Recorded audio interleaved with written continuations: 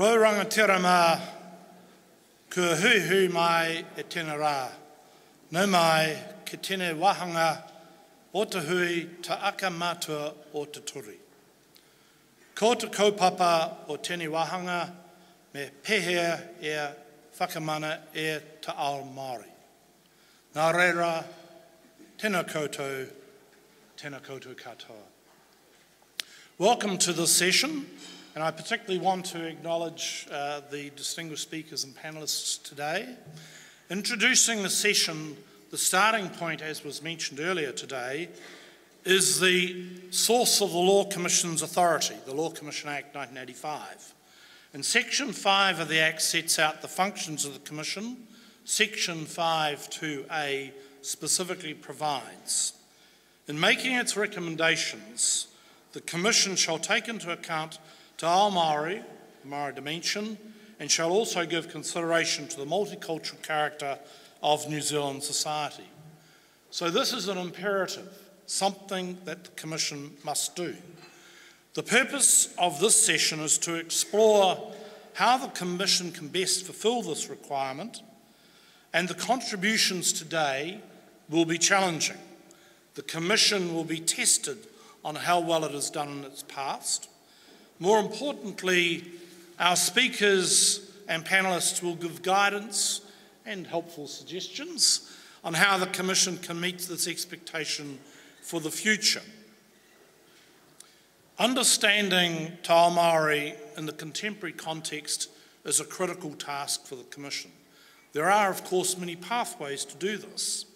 They include the Commission's own understanding, the assistance provided by expert practitioners scholars and the broader Maori community.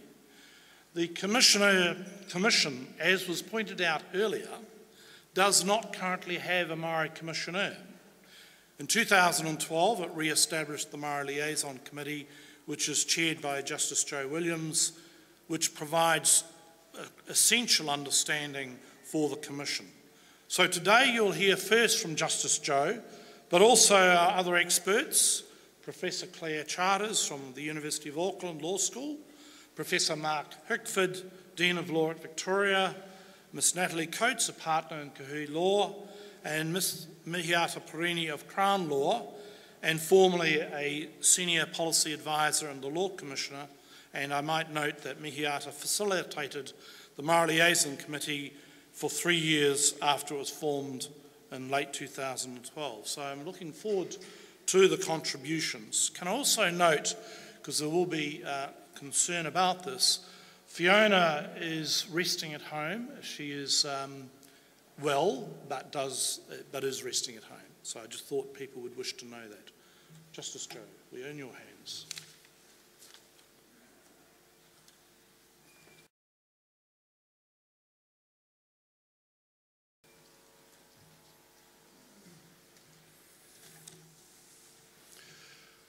Tēnei te ara kairunga te ara orangi e tūnei te ara o papa e takoto nei.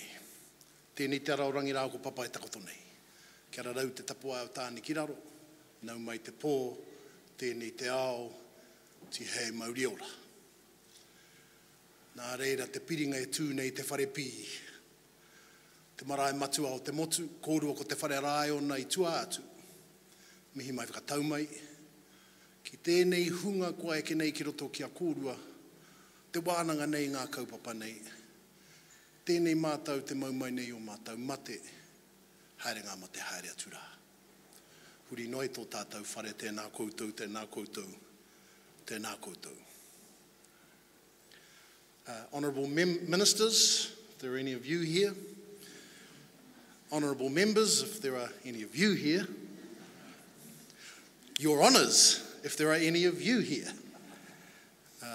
presidents past and present of the Law Commission, commissioners past and present of the Law Commission, um, distinguished guests. I was going to say, as my grandmother used to say, extinguished guests. I want to talk about the Commission and Te Ao Māori today. My comments are really an, an internal conversation in the sense that it's a conversation with myself about why it seems so hard to make section 52A that uh, Wayne mentioned, and I'll mention a little more shortly, work in practice. So, I admit I'm going to be a little critical, but I hope constructively so. I am, I have to confess, uh, by nature not particularly patient with the backpatting exercises one sometimes sees in the Wellington Beltway um, and indeed in the Aotearoa village. But more particularly, I am being self critical because, as Wayne has said, for four years odd now, three years, I've been the chair of the Commission's Māori Liaison Committee convening a group of Māori legal and tikanga experts uh, from throughout the country that meets regularly with the Commission and um, discusses its work. And so uh, I, along with my committee, have been a primary external advisor to the Commission. So the comments I'm making are not are self-critical in a sense, and the conversation I'm having is one with myself. You have the advantage of listening in. Post-colonial Māori history contains another of example, a number of examples of the co-option of Pākehā models and modalities in response to a perception, real or otherwise, of exclusion.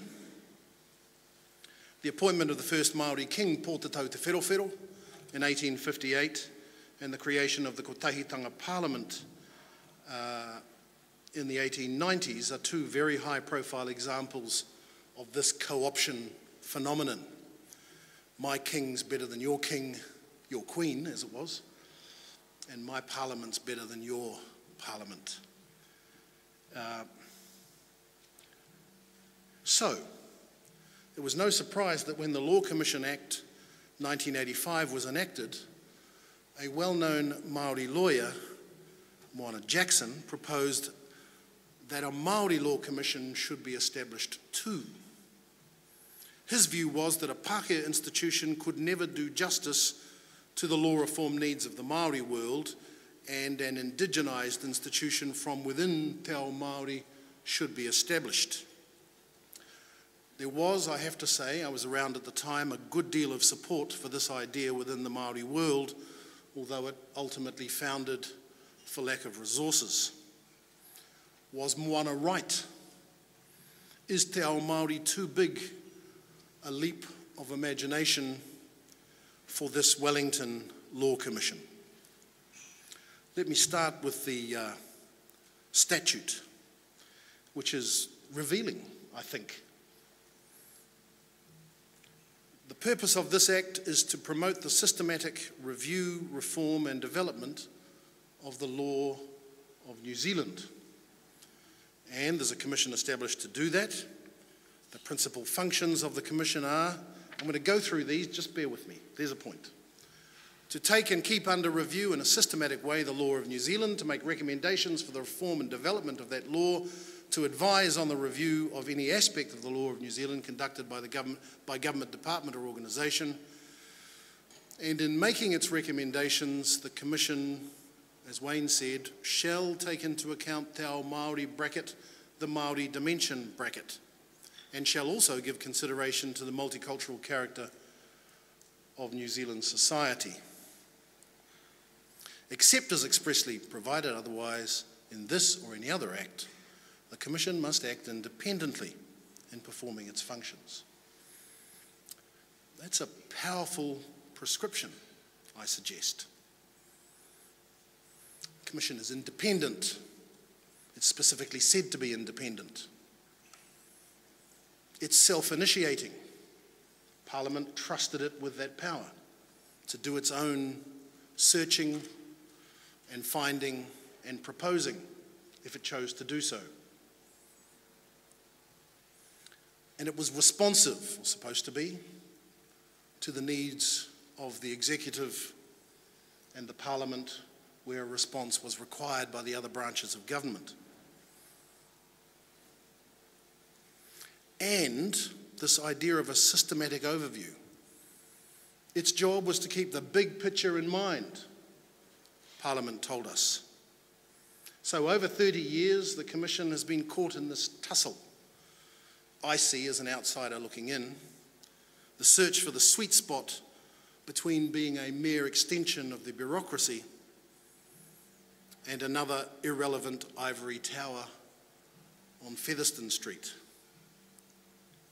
The hunt for the middle point between those two extremes. Well, you can't talk about the big picture of New Zealand law reform without Te Ao Māori being in the mix. Not just because the Act says you can't, but because you just can't in Aotearoa. While I was preparing for the speech, I looked at some old annual reports of the Commission. And they're really revealing. The first annual report, now this is a commission, get this, this is a commission headed by Sir Owen Woodhouse, containing Cameron, Elias, Hodder, and Keith. Uh, at the risk of kind of reversing the order of history, it's like the current All Blacks. I mean, the All Blacks don't have McCaw and Carter anymore, and that commission didn't have Hammond or White or Baragwanath. But boy, they could win, they could play some good football. So, this is what that commission, in its first full year report, said. Been only up for about 15 months about Te Ao Māori. Section 52A of the law, this is Sir Owen speaking, Section 52A of the Law Commission Act directs the Law Commission in making its recommendations to take into account Te Ao Māori, the Māori dimension, and to give consideration to the multicultural character of New Zealand society. This important and challenging instruction touches on the basic question of what sort of society we are to be. The Commission appreciates the need to learn as well as it can of the aspirations and frustrations of the Maori people. It realises too that in evaluating the law as a whole, as well as in dealing with particular topics, issues must be addressed, questions asked, and answers sought in Maori as well as European terms. So there's a big question there from the President of a Law Commission in its first year of operation part of what we're doing is working out what sort of society we New Zealanders want to be. Sir Owen said that's what 52A says think about. Now, I'm an optimist and maybe I'm reading too much into those words, but I read in there a sense of excitement as well as frisson about this aspect of the Law Commission's work is it still there? Within a couple of months, that commission was given Maori fisheries to play with. And this is at the time when uh, the tribes are heading to court to stop the privatisation of the fishing industry through the quota, the propertyisation of the fishing industry through the quota management system and the creation of quota.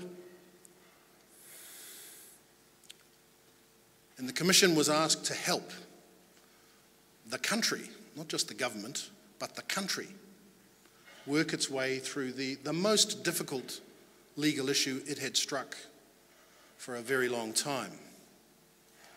And Sir Owen says the purpose of the reference of 12 May 1986 is to ensure that the law gives such recognition to the interests of the Maori in their traditional fisheries as is proper in light of the obligations assumed by the Crown in Te Tiriti o Waitangi, the Treaty of Waitangi. The Law Commission is conscious of the importance of the subject and the fundamental issues it touches upon, calls for the widest consultation. An early priority is to obtain a specific picture of Māori concerns at all levels and to consult widely with non-Māori interests as well. So this commission saw its mandate as a big one. It was engaged to some extent in the legal sphere in nation building, and it was tussling with one of the toughest legal issues we'd ever faced as a post colonial country. So, let me pause there to tell you a short but necessary story. Tawhaki was young, strong, and handsome. in Maori mythology, a kind of um, Maui figure. With his younger brother Karihi, they decided they wanted to climb to the highest heavens to obtain knowledge from the gods. They go to a place where the vines climb into the heavens, way out of sight, kind of like Jack's beanstalk. In fact, exactly like Jack's beanstalk, except the roots are there, hanging down instead of the other way around, reflecting the fact that Tane, who had separated the earth and the sky, had placed his feet on the sky and pushed up with his head down to separate his parents. The guardian of the vines was Tawhaki's grandmother Whaitiri. She was blind. And as the two young men head to the vine on their great journey to find divine knowledge, she says to them, Kei mau tau ringa ki te kia mau ki te akamatua. A loose translation of this would probably be, Gentlemen, choose carefully the vine that you will climb. Don't choose the poorly connected vine, choose the parent vine, te akamatua.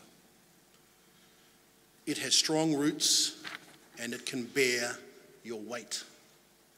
Now, Karihi, the young upstart brother, doesn't listen to the old lady because he's in a hurry to get up there and make himself a big name as the finding of the finder of divine knowledge. He rushes to the vines, grabs the wrong one, gets three quarters of the way up, is buffeted by the wind, thrown off the vine, cast to the earth, and killed. Tawhaki listened. He selected the parent vine and slowly and deliberately made it to the 10th heaven and brought back important celestial knowledge to the people on earth, including the knowledge of ocean voyaging that got his descendants here to Aotearoa. Now, in 1995, nine years after Sir Owen delivered that short missive on the place of Te Ao Māori and its work, the Commission, still no doubt excited by the challenges of Te Ao Māori, chose as its Māori name that which you see in its current livery, Te Aka Matua o Te Ture, the parent vine of the law. That very vine that Tawhaki chose. And the Commission did that on purpose because it wanted to work with that image. The judges are perhaps karihi, thrashing around with the vines that get put in front of them that they've just got to deal with. But the commission is Tawhaki. He gets to choose what vine he works with. And by careful planning and deliberate execution, the Commission is able to bring back greater understanding to the legislative branch that awaits its return, the Commission's return, from the celestial heights. This, in my view, is an excellent image. Careful, deliberate, grounded, yet willing to take great risk in order to achieve great good. To me, this Maori image speaks not just to the idea that you need to be careful and wise in your work and your judgment, members of the Commission, but it also speaks to the priority of Tawhaki's world, Te Ao Māori, in your work. So then, what is Te Ao Māori? Well, it's a place a marae, a papakainga, wherever Māori and other New Zealanders, I, make, I under, underline that point, and other New Zealanders play out the unique Māori value set. It's a state of mind, the part of the population of New Zealand who adhere to Māori lifeways. They're not all Māori. Apparently, according to the last census, 4,000 New Zealanders identified themselves as Maori identifying without Maori ancestry. A healthy sign. So Te Ao Māori isn't exclusively Maori. It's a Maori state of mind. It's a set of identifiable assets that locates New Zealand in pre-European history, in Tawhaki's world, and in Polynesia. Te Ao Māori is also Māori today in their myriad circumstances, whether tikanga are present in their lives or not. And it is, in addition to that, the Maori narrative, I would say, that sits as a distinct skin over our islands and all of its inhabitants and all of its human institutions. It is hard to pin down, but we sure know it when we see it. Within the Maori population part of that world, there is the traditional aspect, one in which issues of traditional rights and interests, distinctive language and tikanga, of iwi and hapu, uh, sorry, of iwi and hapu rangatiratanga, all are played out. These will arise as law reform issues because they are ever present in Aotearoa's real life discourse. Then Māori is also an identifiable ethnic minority, affected as that minority and as New Zealanders by laws of general application, the criminal justice system and child welfare legislation come immediately to mind as things that touch upon the Maori world, whatever values those Maori might espouse. It's hard to divide these two things, Maori as tangata whenua and Maori as a minority. Maori as individuals massively disproportionately are massively disproportionately affected by policing choices, by search and seizure, arrest, conviction, and incarceration. And in this way, they're little different from oppressed visible minorities the world over. But their response to this treatment is often from a tikanga base.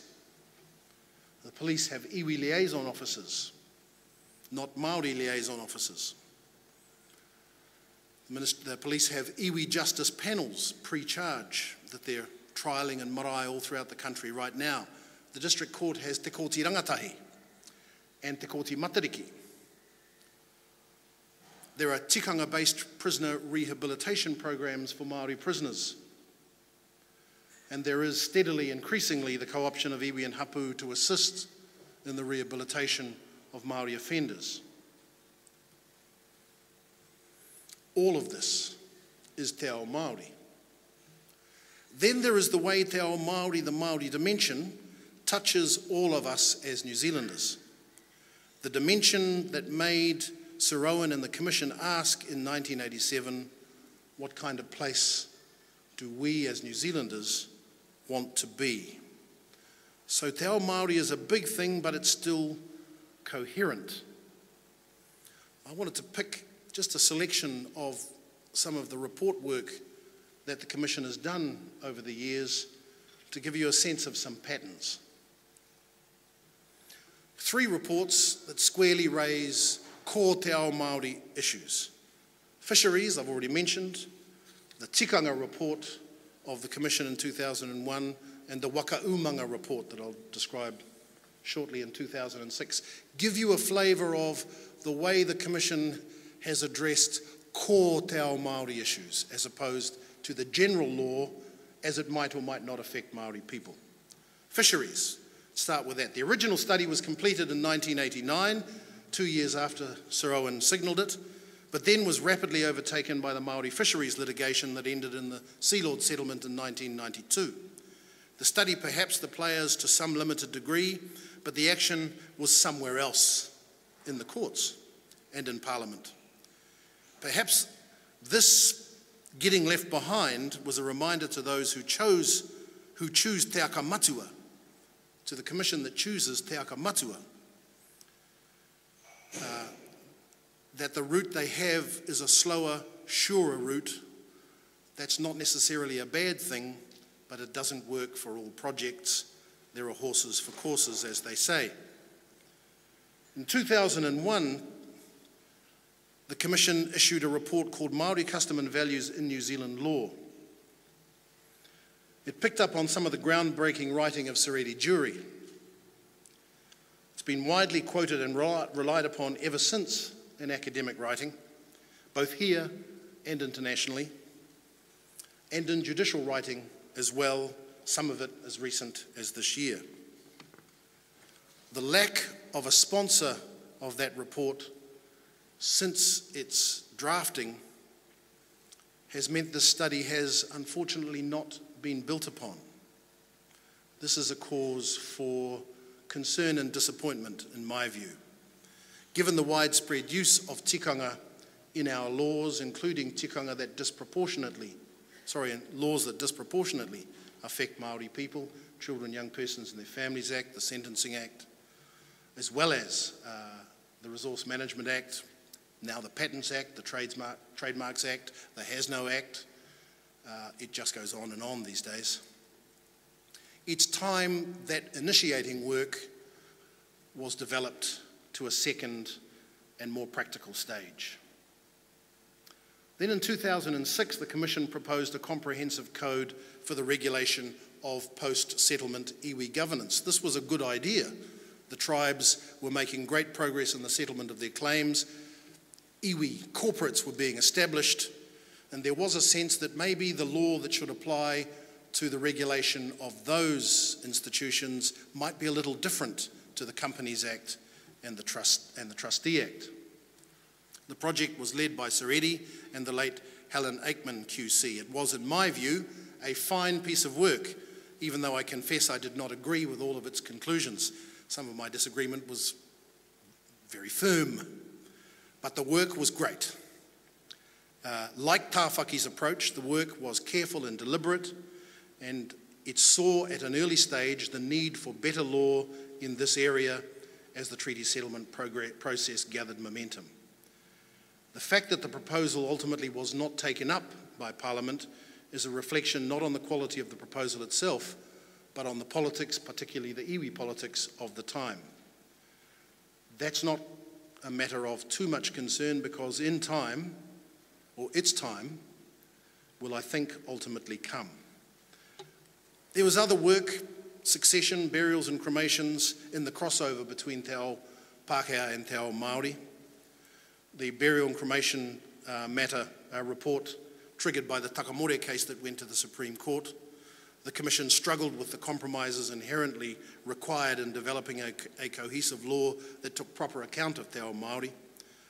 I wasn't entirely in favour of the design the Commission ultimately adopted, though of course design was for the Commission, not me, as chair of the Māori Liaison Committee.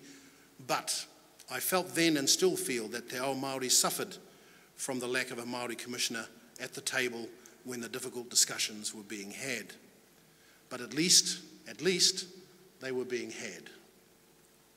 Three more more general things, um, areas to give you a sense of how Te Ao Māori has been dealt with more generally. Sentencing.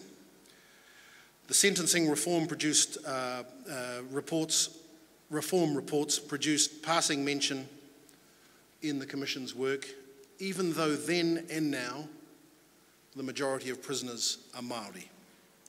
I have to express some disappointment about that. Police powers of surveillance, search and seizure, early reporting uh, of uh, a few years ago, I haven't uh, referenced the particular report, but if you look them up, you'll see them. Uh, Te Ao Māori isn't mentioned, even though 40% of arrests are of Māori, suggesting perhaps that Māori carry dis a disproportionate load as subjects of surveillance, search and seizure. Then there is the work the uh, Commission did in 2013 on trusts.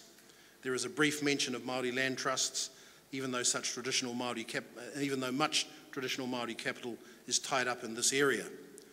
To be fair, that work would have been uh, would have got caught up and perhaps fouled up with the Te, Fure, Te Ture Whenua Māori reform, and the Law Commission did start thinking about implications for Māori partway through the project, but it seemed to me there were no institutional systems in place to ask the question early and ensure that answers were being found. Section 5.2 says the Commission must take into account Te Ao Māori in making all of its recommendations, not just the obvious ones. And some of these are not obvious until you look at the social impact of law and see how disproportionately those laws are affecting that population. So, change. I think, respectfully, um, that there are structural problems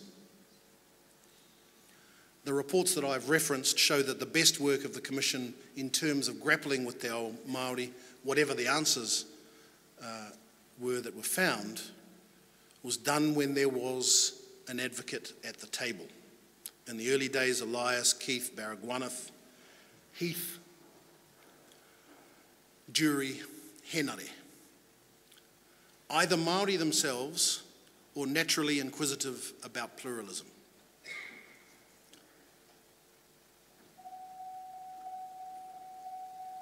Is that a little early?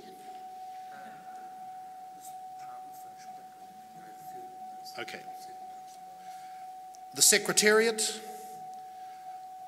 is Maori poor, and the Commission really cannot operate that way, particularly these days when there is no shortage of Maori law and policy graduates able to work in the Commission to ensure that the right, answer, right questions are being asked early and often. And access to a network. That's the role of the Māori Liaison Committee, Eddie Jury first in the 90s and then me of the four or five years ago. Without all three levels of input embedded in the life of the institution, the Commission, I suggest to you, is karihi, not Tawhaki. Running around, grabbing at whatever vine happens to be hanging in front of you, playing law reform roulette. But there's more. In addition to that structure, I suggest uh, something of the culture of that original commission must be inculcated in your work. A culture of willing engagement with Te Ao Māori's challenges, the excitement that we're all in this together, and the answers are to be found by all of us. Not a Te Ao Māori box ticking exercise, but genuine excitement about building the place we want Aotearoa to be. You know, a law reform commission in New Zealand, in terms of the indigenous dimension of the country, ought to be world leading. We should be able to do this stuff better here than anywhere else in the world. This is Aotearoa, folks. This is Aotearoa. We're still to achieve that. I don't think Moana's model is better, uh, is a better bet than the Commission, but the jury's probably still out on that question. We're still in the search for the kind of New Zealand Sir Owen Woodhouse thought we might want to be. The challenges of the 80s are still relevant. The opportunity to lead the world is still there to be grasped. Tēnā koutou.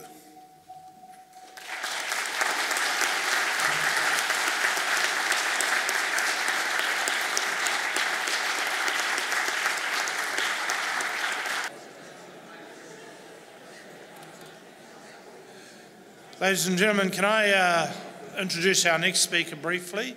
But before I do that, I also would like to thank Justice Joe for his extremely stimulating address. It's really laid a tremendous platform for our subsequent discussions as well. Uh, with our panel, we're going to sort of have a more interactive process, and I think both uh, Joe's contribution but also Professor Claire's will provide a wonderful grounding for that process, which will then evolve into the more public Q&A. Um, Professor Charters is part of the new generation of dynamic Maori academics and is, um, I say this in part, I'm going to embarrass my wife by saying this. Um, there are people of a certain generation who are very conscious that the baton of leadership has been passed. And we see this very much so at, at this table, in fact. And um, I just want to acknowledge your role as being one of the new leader, thought leaders uh, uh, as part of that uh, new generation of leaders, and we're most, most looking forward to your thought-provoking contribution. Professor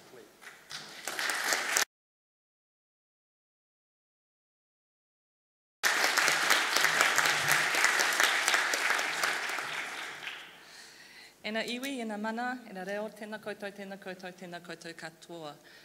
Ngā mihi nui ki a koutou, excellencies, extinguished uh, guests. um, and uh, friends. It's wonderful to be back in Wellington. I feel this is very much my academic home, so um, it's very it's it's it's a real privilege to be here um, in this in this place. Um, it's also a great privilege to be invited to speak uh, at this particular conference, particularly given the, the audience um, that, we, that we have here today. So I'm, I very much thank the Law Commission for this invitation.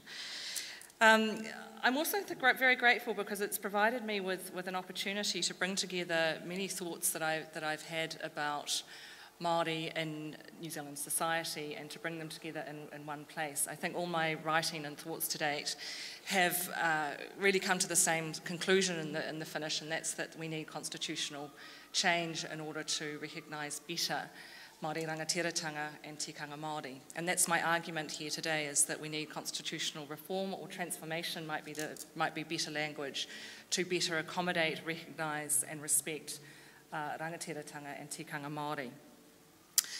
And I, just, and I say this because I think the New Zealand state, uh, the New Zealand legal system, New Zealand law, will remain on precarious foundation until it recognises rangatiratanga and tikanga Māori.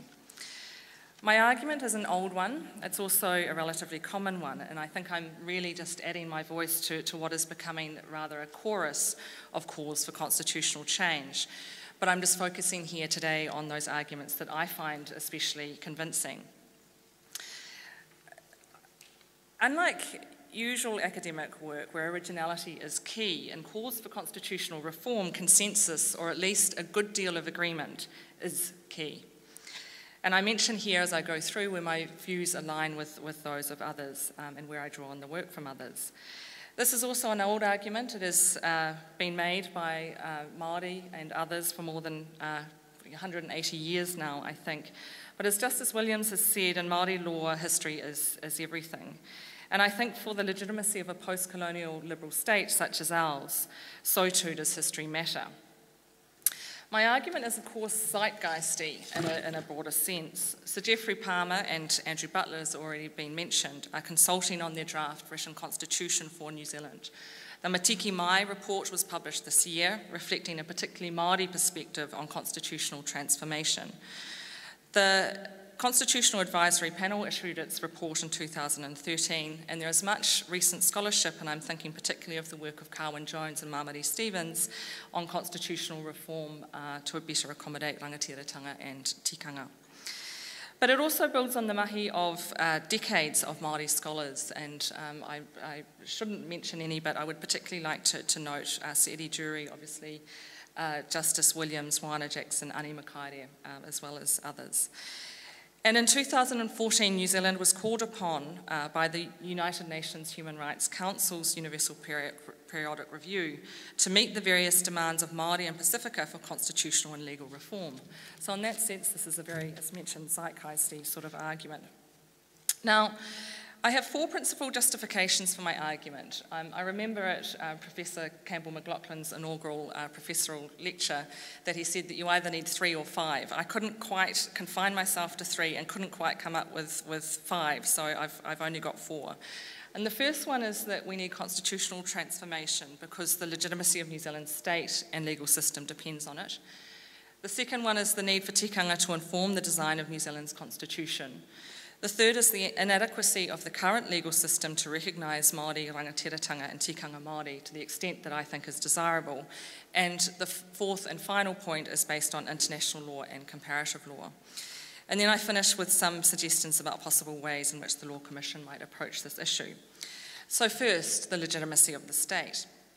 So, there are a number of facts that are relevant to any assessment of the legitimacy of the New Zealand state and New Zealand's legal, sense, uh, legal system and here are some of them. Starting with the treaty.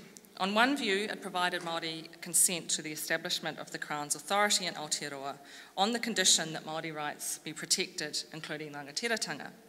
But then it was breached, which undermines the Crown's claims to authority here.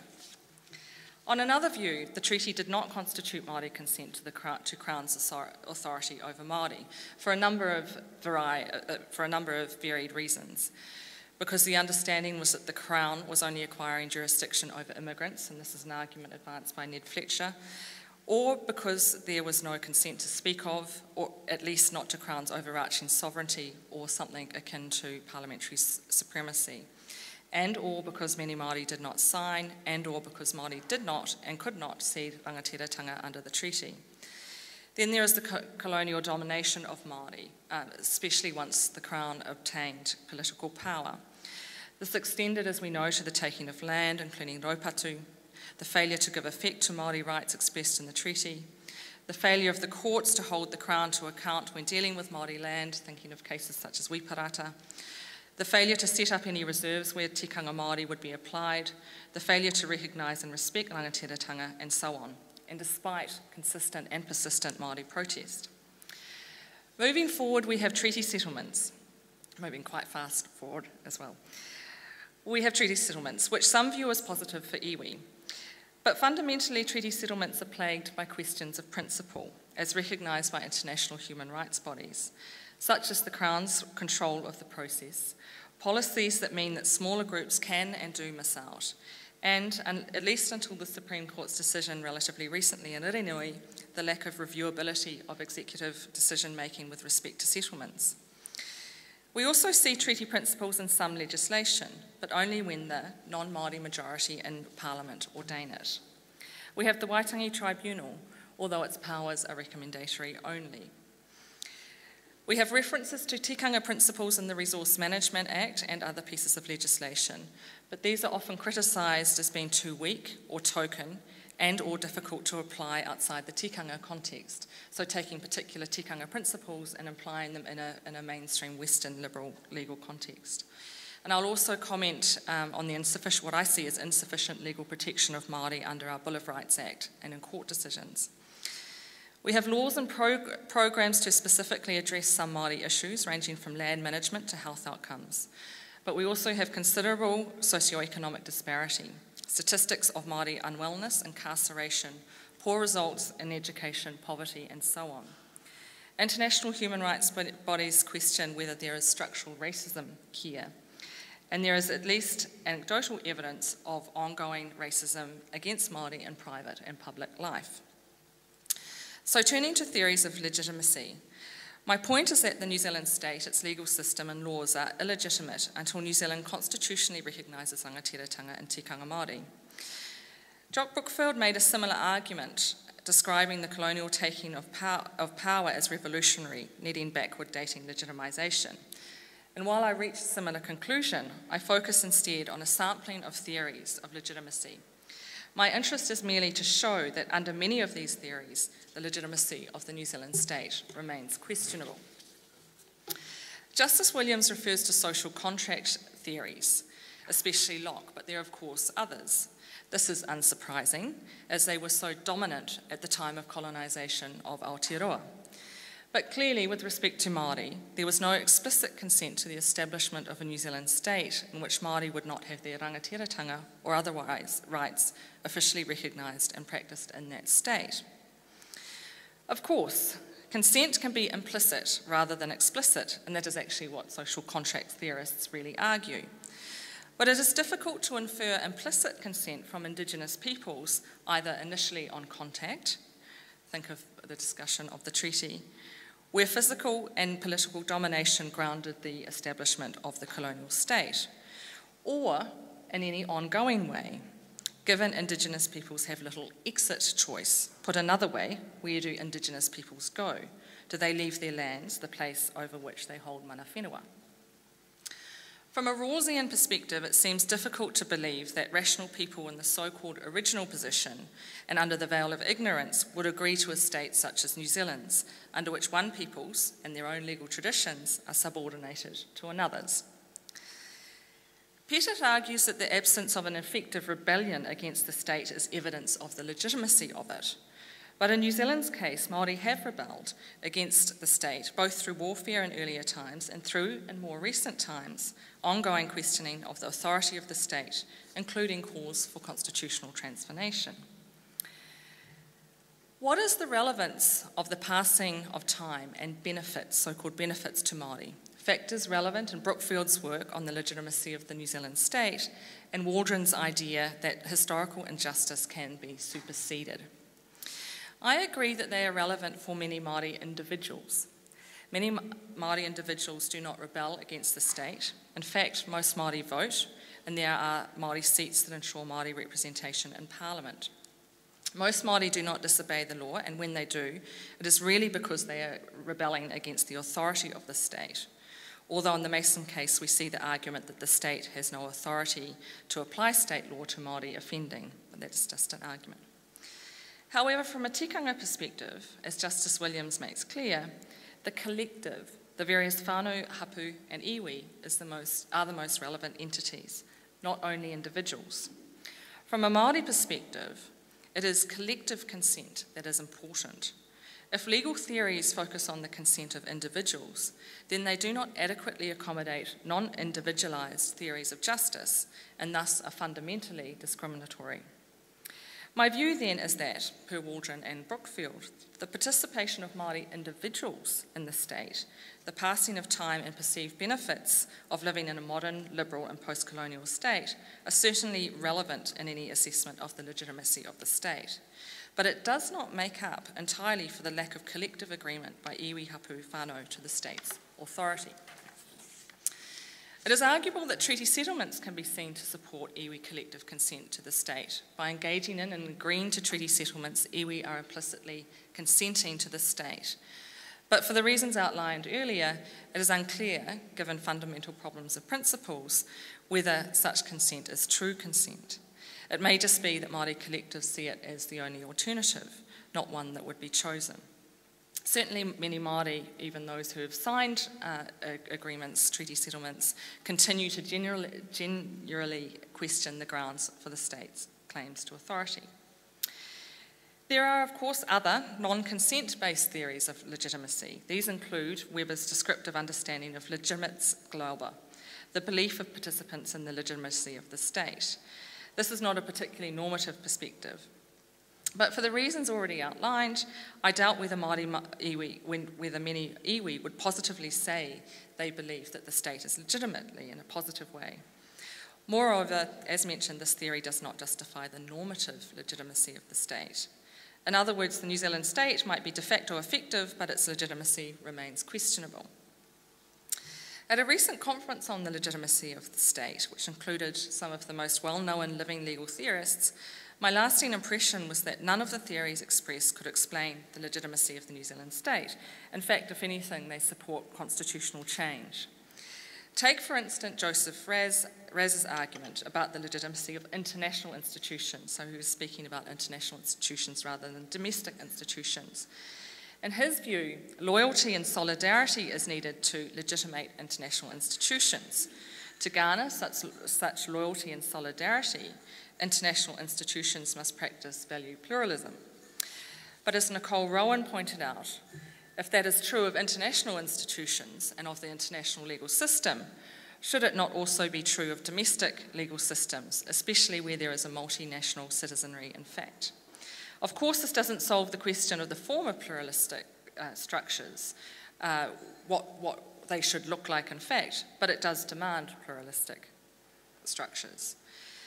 And take Philip Pettit's argument that state legitimacy is sourced in citizens' equal control over a state. As a minority group made up of individuals who form a minority in a democracy, it is difficult for Māori to have control equal to that of individuals from majority group, equal to that of individuals from majority groups over the state in a broader sense. Further, the state and the legal system is Western and liberal in, in origin and design which means that Māori are effectively operating under a foreign system, which is a point, important point in Kymlicka's work. So those theorists who have taken seriously questions of pluralism and the Indigenous problem um, uh, include Tully and, and also Kymlicka. Tully asks us to reject the myth of unity and efforts to impose one cultural political system over another. For example, the Anglo, Anglo legal tradition over Māori legal tradition. And Kymlicka famously argues for multiculturalism, under which Māori would be entitled to self-government for Māori to be able to, to function under a political and legal system consistent with their cultural values. This is a liberal argument still, although it is based on cultural equality. The type of constitutional systems imagined by such theorists are pluralist. So that is really just to give you a, a, an idea of some current thinking about and also historical thinking about legitimacy and to raise questions about the authority of the New Zealand state under those, those theories. I do recognise that it's a bit of a smorgasbord, but um, it's just to paint a, a broad picture. Moving to tikanga. We, we see a resurgence in the idea that post colonial states' constitutions should reflect Indigenous legal traditions. Um, so, this again mentioning the work of Justice Williams and his Harkness lecture, of course, the work of Sir Eddie Durie, Carwyn Jones, Mamari Stephens, the list goes on, Moana Jackson, and that's only naming a, a few. Um, it is closely, this, this work is closely related to that of our Indigenous colleagues in Canada, such as Taiaiake Alfred, John, uh, John Borrows, Val Napoleon, and from the US scholars such as Matthew Fletcher and Rob Williams. John Borrows has commented, I would love to see Salish, Cree, Blackfoot, Inuit, and Mi'kmaq legal perspectives and traditions form a part of our standards of judgment, not just within Indigenous communities, but for Canada as a whole. The terms of, of, uh, of, reference for the Matike Mai project, coordinated by an independent working group of the Iwi Chairs Forum, and I quote, did not ask the working group to consider such questions as how might the treaty fit within the current Westminster constitutional system, but rather required it to seek advice on a different type of constitutionalisation that is based on te whakaputanga and te tiriti. So one of the justifications for a, constitution that draws on tikanga and, and, as well as state legal traditions relates closely to the legitimacy arguments I've just outlined. Certainly, the legitimacy of the state is undermined when it is founded on the imposition of one legal system over another by force. There are, of course, also questions of equality. What justifies one legal system taking primacy over another outside of an argument, outside of force? Another justification is that in the case of Indigenous peoples and post colonial legal systems, liberal democratic legal concepts cannot and do not express appropriately the claims made by Māori, which makes sense only from a Māori perspective. Hope recently explained that Māori claims with, with respect to their loss of land cannot be expressed adequately as a breach of human rights, which is a Western legal framework. Instead, the significance of settlers' land grab is a violation of Māori birthrights, the conception of which is embedded in, general, in the general metaphysics of whakapapa. In other words, Māori consider the wrong as a wrong, not because their general human rights were violated, but because their special birthrights were. And further, to substitute human rights talk, and I quote now, for the violation of ancient birthrights is then to understand neither the nature of the original wrong nor the nature of the wrong's continuing impact on modern Māori. A closely related point is that the presentation of Indigenous claims in foreign legal terms, such as a claim to rangatiratanga as a human right to culture, for example, is itself colonising. Māori would not want to be seen to be legitimising colonisation by translating their, their claims into colonising legal language. Mikaere makes similar comments, um, she says, denying the validity of Māori law by seeking answers in imposed law is a powerful indication that we have lost faith in our own legal philosophies. That loss of faith itself is a sign, is, sorry, itself a sign of the self-negation that Jackson has described as being a necessary part of the process of colonisation. There are many views from Indigenous scholars in this vein from around the world. Then there is the argument that a constitution that is to garner the loyalty of its Indigenous peoples must reflect their values fundamentally. It would be a nonsense to attempt to constitutionally recognise and give effect to rangatiratanga and tikanga in a constitution unless that constitution itself reflects tikanga. Another justification is lar- largely pragmatic or instrumental in, in academic language. All legal systems can potentially improve when they learn and draw from other legal systems, and this is a point emphasised by uh, John Borrows and Tully especially. A contemporary example is with respect to climate change. Less than a month ago, Secretary General of the UN, Ban Ki moon, commented that Indigenous people's knowledge can help us prevent climate change. Māori have for some time argued, with some impact on legislation and judicial process, that there is much to learn about the regulation of the environment and criminal law, amongst other areas, from tikanga Māori. Much work is also emerging on how constitutional law might better reflect tikanga Māori, which can guide us. One of the most valuable is, of course, the Matike Mai project because it is based in a relatively long and inclusive process, including 252 hui with Māori as well as focus groups and interviews with, with Māori. And this approach, the approach of the Matike Mai, um, is, is, to recommend uh, different and various forms of governance structures, including what they, what they define as a iwi hapu sphere or assembly of governance. Of course, the Law Commission's report on customary law is, is, is very important with its identification of tikanga principles that, that can guide us. And there is the work of scholars that I've mentioned. My third is that uh, the New Zealand legal system is currently um, inadequate um, in terms of trying to achieve the, the, the, level of recognition and respect for rangatiratanga and tikanga Māori that, that I think is desirable. So New Zealand's constitution is, of course, famously subject to incremental change, which can, which can occur through new legislation, new decisions from our courts, the evolution of new conventions. So why shouldn't we leave greater accommodation of tikanga Māori uh, to uh, this incremental change process? There are others, such as Geoffrey Palmer and Andrew Butler, obviously, and, and Matthew Palmer, who also argue that, that however, leaving uh, these matters to, to incremental change is inadequate, and that unless there is some major or, uh, I guess, institutional fundamental change, Māori rights will continue to be precarious and subject to Parliament's whim, driven by the non-Māori majority, so think foreshore and seabed. I agree with these views. I simply don't think incremental change will achieve the kind of uh, results that we need. I mentioned just a few contemporary legal developments, which, while I see as very positive, I don't think they, they get us far enough.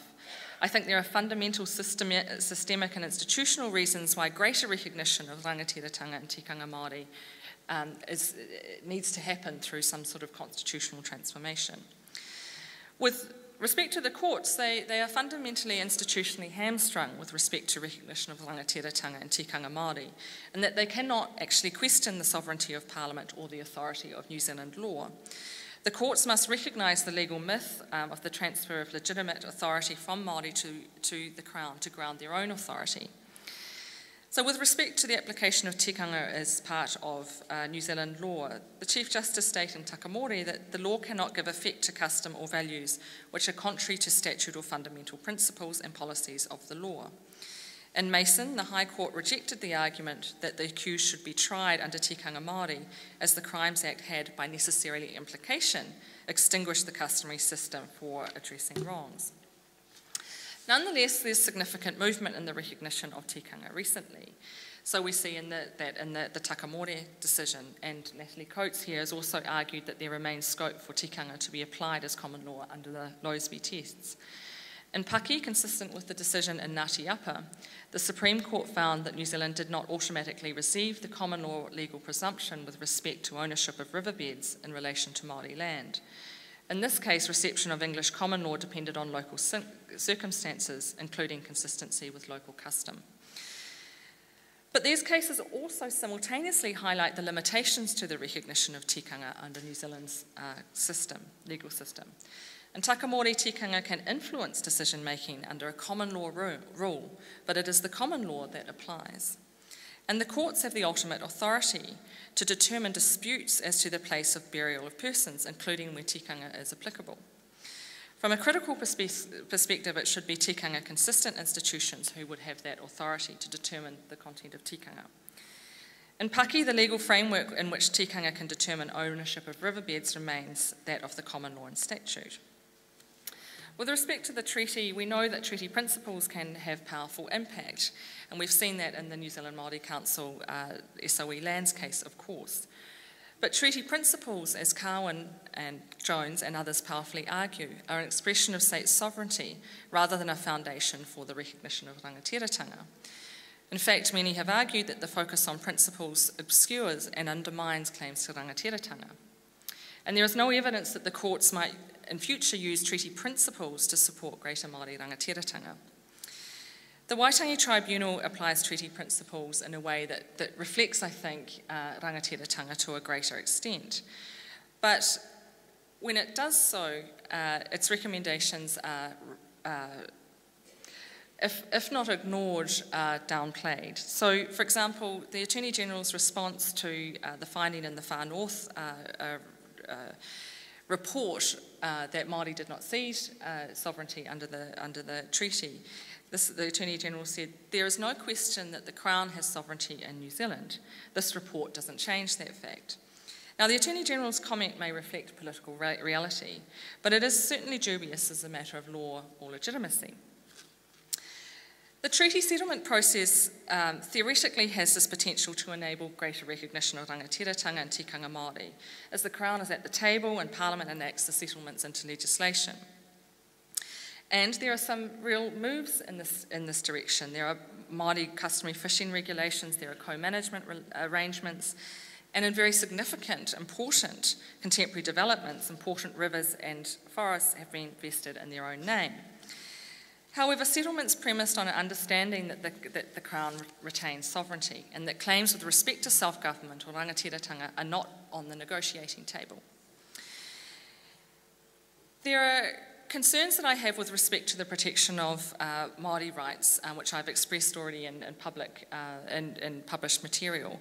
And one is the judicial deference to the political determination of Māori interests. Now, I see some movement here which, which, which I find fascinating, but I do think that the continued deference um, uh, to political processes is dangerous, um, particularly when, when Māori are a minority.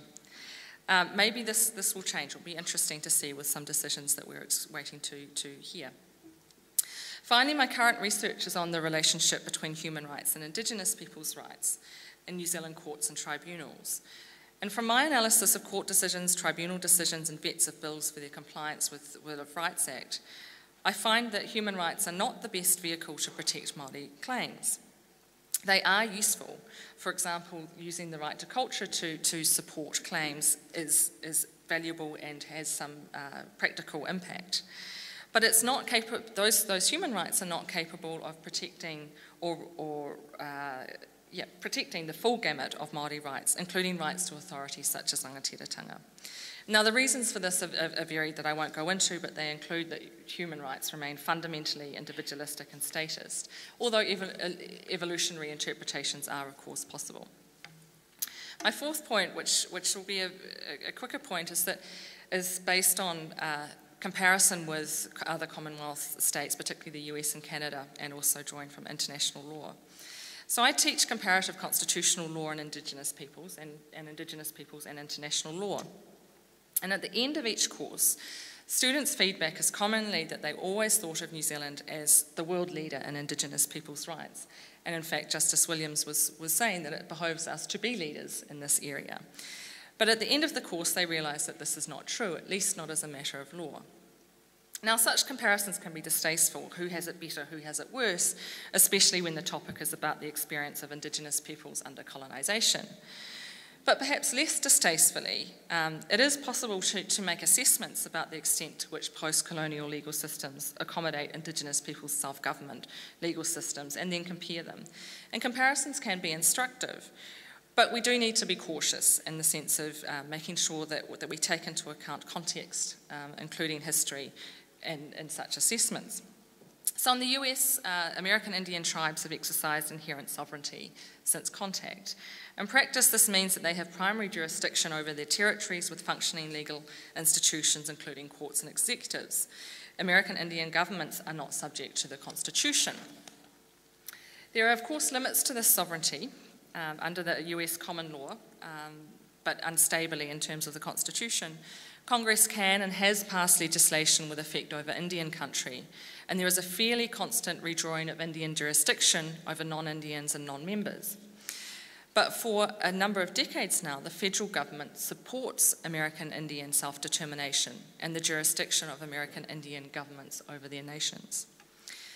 Canada is arguably of more interest to Aotearoa, given that, like Aotearoa, the colonial state assumed sovereignty over the entire territory of Canada, although this is equally subject to question. However, there has been consistently, albeit subject to critique also, provision for band jurisdiction under the Indian Act since the mid 1800s. The, 18, sorry, the 1982 Constitution, Canadian Constitution, includes constitutional protection of Aboriginal and treaty rights, which expressly trump human rights. It does not include a right to self government for Aboriginal peoples, which many First Nations had sought. Nonetheless, there has been significant legal and political steps to give effect to Aboriginal self government, consistently with decades old Canadian federal policy. Treaty settlements there deal in self government, with the Nisga'a as one example, acquiring jurisdiction over a number of areas, including land, education, and culture, and shared jurisdiction over others, such as marriage, environment, and health. In a case challenging that settlement, the British Columbia uh, Supreme Court found that the Constitution, the Canadian Constitution Act of 1867, had not divided up all jurisdiction and power between the federal and provincial governments, so it had not divided up. There was residual sovereignty there uh, for First Nations.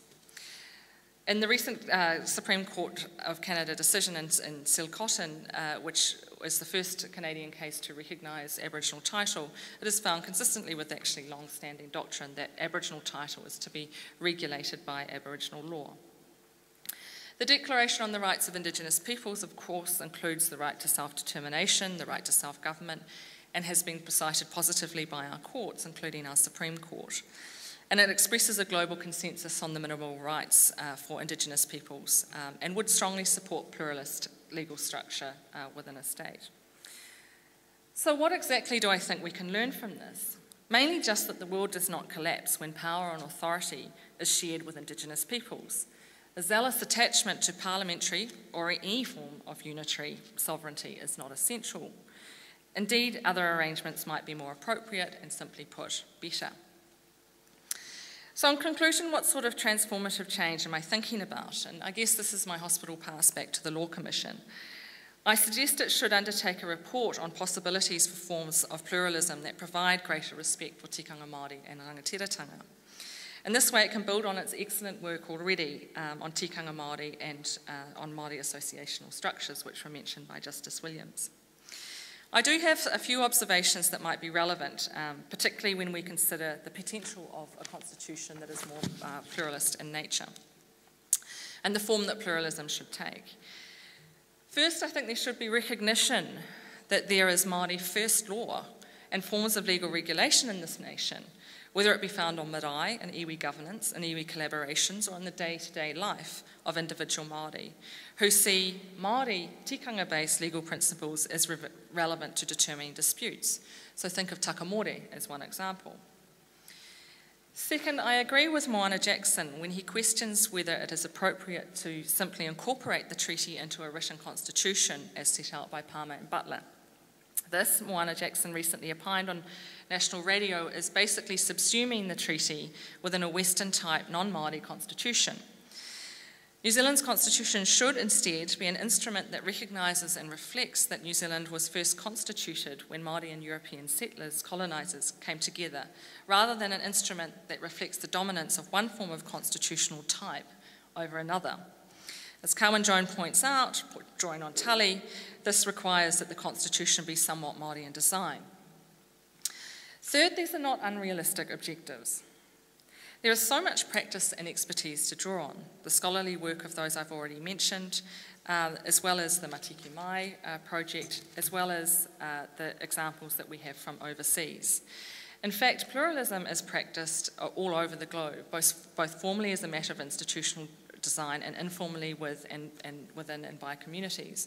And I, I, would suggest that New Zealand is actually one of the, the most, um, at least in uh, uh, our thinking about these things, is one of the most unitary um, forms of government that you can have. Our understanding of parliamentary um, sovereignty and, and, unitary power is, is really unseen anywhere in the world. So I think that even in states um, such as Belgium or Switzerland, we can look to for inspiration in thinking about pluralism. Fourth, and this is important too, the argument is not that we should revert to the status quo ante, to 1840 and start from there. New Zealand is now a multicultural, liberal, first world state, and that is, of course, highly relevant. But it must also reflect that its foundation, its constitution, is in the coming together of different peoples with different legal traditions. We need to be inspired and creative The legitimacy of our state depends upon it. Kia ora.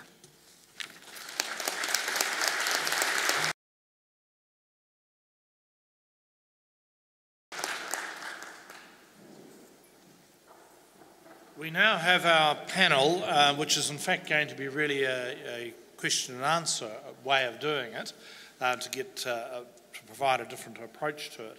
And perhaps the first uh, the way to approach that, in fact, is I should ask um, Professor Claire Charters to ask the first question of the panel, who can respond on it, to it as they will.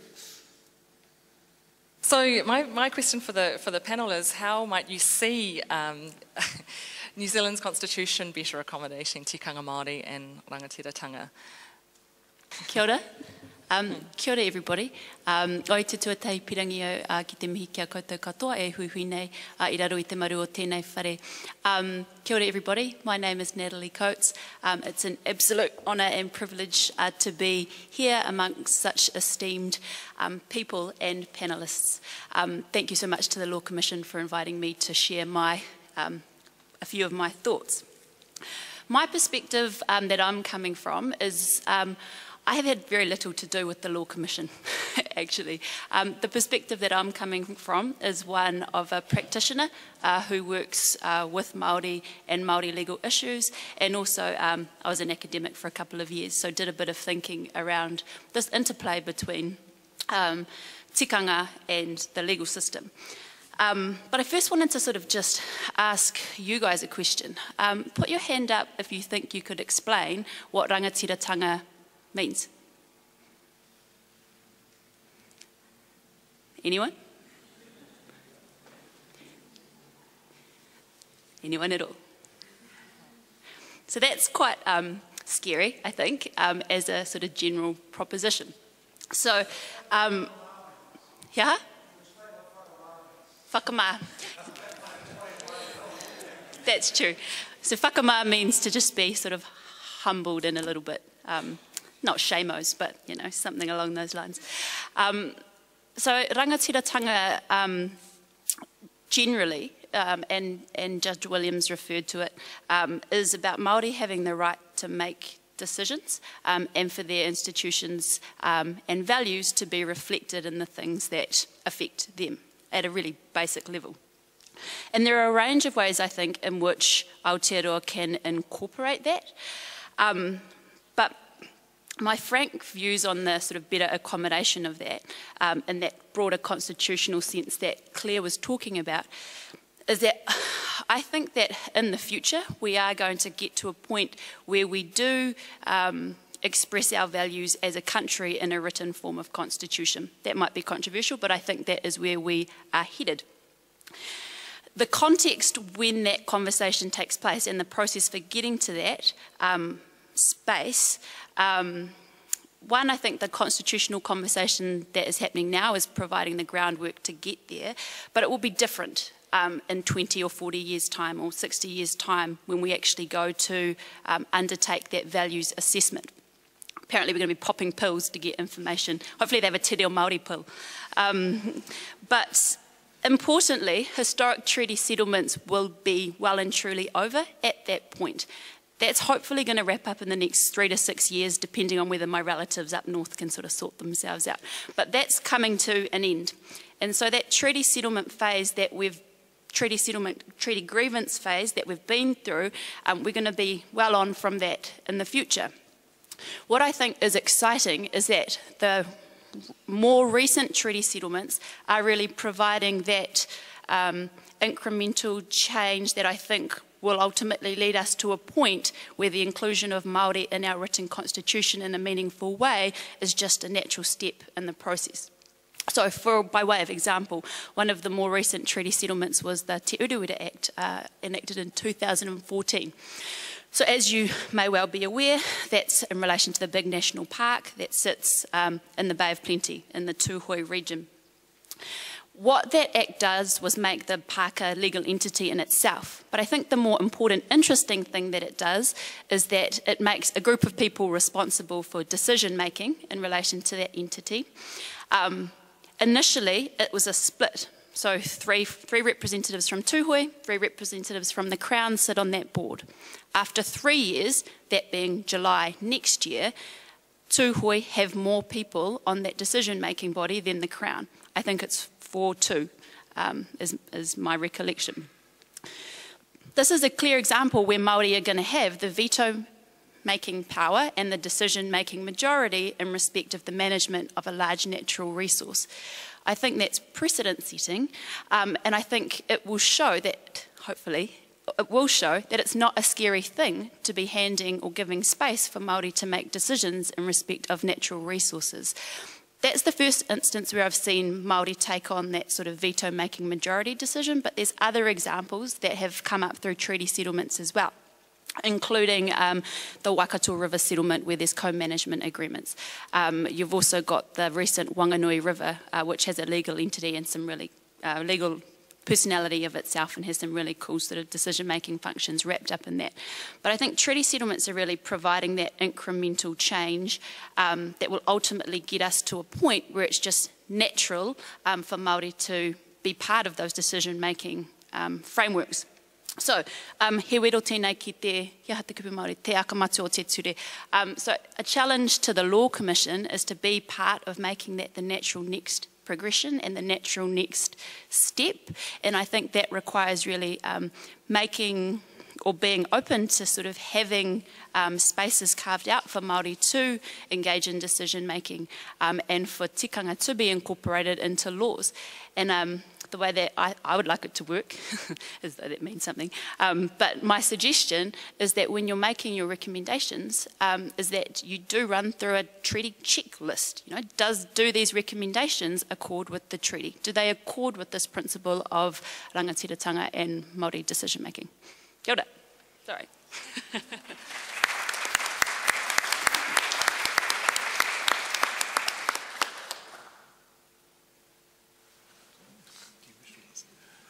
ora. I'm not sure if this is on. Oh, yes, it is. Uh, kia ora koutou, ko Mihiata um, tōkungua. Um, I worked at the Law Commission for about five, four and a half years. So I'm, I'm coming from that perspective of, of an insider, I suppose, and wanting to make some comments on how well the Law Commission has done to incorporate Te Ao Māori in its um, work over the last five years and, and whether some things can change for that to happen. And it's really, I think it's been really uh, instructive to listen to the comments of Justice Williams, um, Claire Charters, and Natalie because I think it provides a good springboard for thinking about actually this is stuff the Law Commission could and should be doing. Um, and and yeah, some comments, I suppose, on, on maybe why that hasn't happened for the last five years in my experience and what might change in the future. Um, so I'm not sure this is actually answering your question, Claire, but um, I suppose it's coming from that, that insider perspective. And before I go there, I also want to thank the Law Commissioner for inviting me here, and I'll try not to say anything too undiplomatic. Um, yeah, so basically my, my, two, my two questions that I wanted to, to think about um, and, and, provide some thoughts on today is, is one, has the Law Commission adequately engaged with and incorporated Māori perspectives in the last five years? And if not, uh, what should change in order for that to happen? Um, you can probably guess my short answer to the first question is I don't think it has. Um, and actually, over the course of the day, reflecting further on that, um, I've, I've, actually kind of come to that view even more firmly. Um, and looking at the statute and listening to Joe's comments on the statute, I really believe that um, it hasn't, um, in my experience, and that there is scope to do so under the existing statute. Um, and just looking at the first listed power of the Law Commission in Section 6 is to initiate proposals for the review and reform of the law. Um, now, my experience um, when I was at the Law Commission is that um, there was a practice or a tendency to um, wait um, for references to be referred to us from the Minister. Um, and that's understandable because the Law Commission wants to be a body that um, puts forth recommendations for reform that are implemented. Absolutely, I understand that. However, given that there is a power to initiate proposals for reform, um, I think that, that that's actually um, that's actually a power that needs to be used. And, and I think that the Commission constantly has to push back against any tendency to sit back and wait for projects to come its way. It needs to be much, much more proactive um, in, in yeah, moving, looking out, um, engaging with academics, um, researching, you know, what's happening out there, what are the current developments in the law, um, staying across those developments, proposing collaborations with academics and also with other government agencies. And in the past, the Law Commission has worked uh, in collaborations with TPK and um, the Māori Land Court on some of its projects. So I think there needs to be more of that, basically, is what I'm saying. Um, and yeah, I guess balancing that tension between being a kind of seen as an academic think tank, which no law commission wants to be, um, and versus, you know, um, seeing the value in putting out reports and study papers that aren't just about what should happen or making recommendations, but that are actually studies of what, what, what the law is and where it's going. I think that's a, that's a, a, a tension that needs to be balanced. Um, it, I think it's instructive that while I was at the Law Commission, one of the kind of cautionary tales that came up quite a bit was the, the Canadian Law Commission, which kind of um, thought itself out of existence by asking what is criminal conduct. And, you know, no commission wants to end up there, but I think there's a, um, there's a balance, yeah.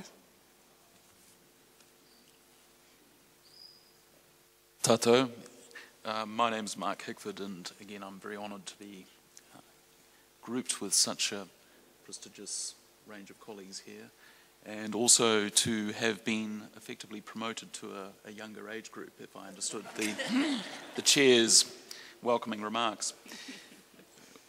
What I, what I should say is that I did have some time at the Law Commission, and, but in the context of a secondment on a range of projects and also in relation to what was then known as the Legislation Design Committee, as well as the parts of the Legislative Advisory Committee itself. And one of the reflections I have listening to Justice Williams and others is that the Law Commission is part of an ecosystem of reform. There are many communities of interpretation or interest engaged in the work of reform. And we've heard already from some of the examples that Claire Charters has mustered in her own address, but also from Natalie and Mihiata. And these are significant developments, but they are effectively consistent with the theme of incrementalism, as befits a sort of reformist agenda. In that context, I think the Law Commission effectively does have a useful role to play in terms of the socialisation of incremental change and potentially profound change to contribute to that conversation of pluralities that Claire Charters invited us to reflect upon. The challenge always, as those of you who are law commissioners or have been law commissioners, or those of you who are in organisations and have responsibilities for work programs, is that there are rather meagre resources and one has to prioritise. And that, therefore, leads to musings upon how one might align or intersect with activities that resonate elsewhere. And so, one of the things I did in preparation for this address or this conversation, we hope, were some reflections on how one might do that. And again, these are simply kite flying exercises on my part. But I am, for instance, aware that the Human Rights Commission has been recently successful in getting itself on the agenda at iwi Chairs Forum meetings on an annual basis as part of the agendas of discussion at iwi Chairs Forum meetings. And so, for instance, these are the types of discussion points that engage questions that we've heard about today questions of incarceration and youth justice, questions of healthcare and policy, matters of social moment as well as legal reform. And I would suggest that perhaps seeing how one might position oneself in that agenda, at least by way of a mutual finding out about respective work programs would be a useful exercise. The other question I thought of myself was that the Waitangi Tribunal is entering a new phase in terms of its own timetabling, its own conception of its work, given the narrowing jurisdictional window around historical claims under the Treaty of Waitangi Act 1975. It is now looking ahead to thematic kaupapa inquiries on a range of topics some of which will require the socialization of awkward, challenging, vexing concepts. They include, for instance, and I've got the list here from the 1st of April 2015 Memorandum and Directions of the Chairperson, constitution, self-government and electoral system, health services and outcomes, mana wahine, mana tane, education services and outcomes, identity and culture, engaging questions of custody and access control, museum collections, archives, monuments, etc., natural resources and environmental management, a topic that will remain with us in this set of islands forever after. Social services, social development and housing, economic development, justice system, citizenship rights and equality. So these matters of kaupapa, inquiry-based work, will start to contribute to a narrative of engagement with peoples and landscapes in these islands. And the question, I guess, for the Law Commission is how might it present itself ahead of that curve or as part of that engagement? How might it invite pertinence or meaning in the context of that?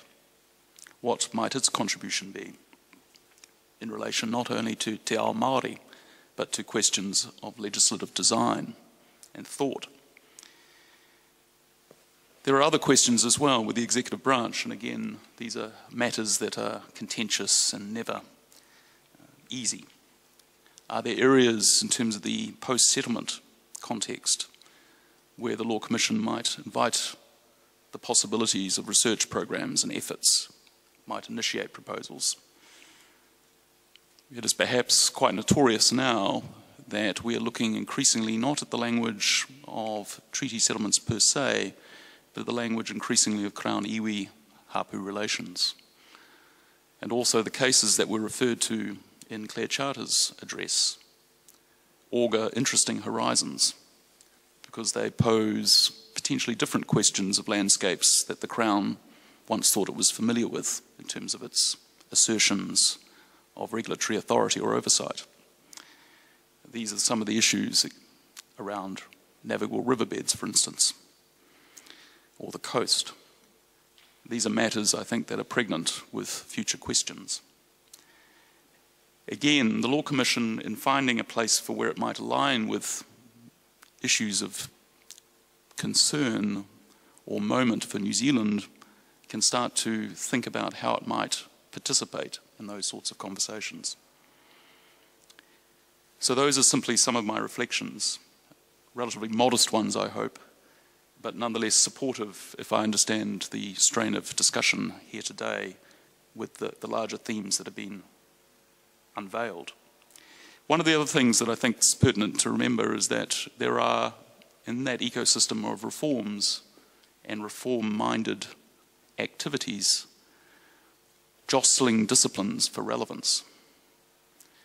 You have the Productivity Commission, which has its own suite of specializations.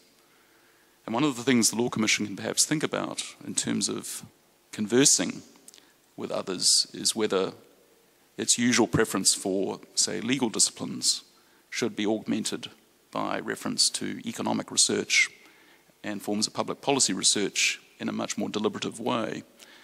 I know this is something, for instance, that a former president, Sir Geoffrey Palmer, was very mindful of in the context of how one might conceive public law and legislative design. And it seems to me still very relevant to us today.